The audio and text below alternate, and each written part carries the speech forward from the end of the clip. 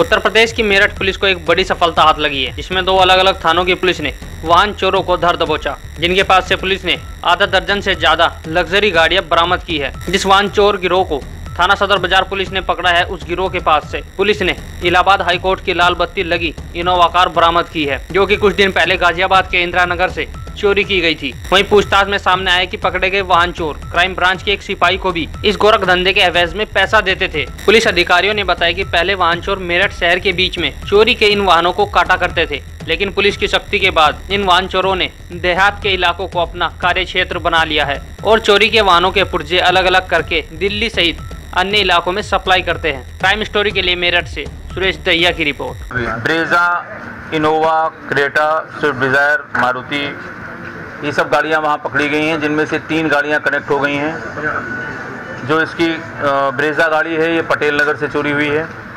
और क्रेटा जो है, ये मॉडल टाउन से चोरी हुई है। ये पूरा, पूरी चेन है, पूरा गैंग है।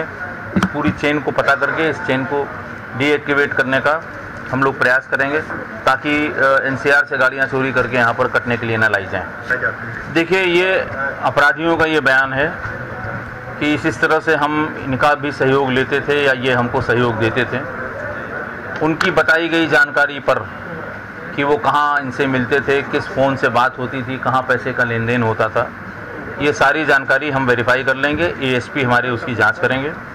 और जाँच में जो भी दोषी पाया गया, वो चाहे पुलिस वाला हो, चाहे पब्लिक का आदमी हो, उसके विरुद्ध अपराध पंजीकृत करके हम कार्रवाई करेंगे।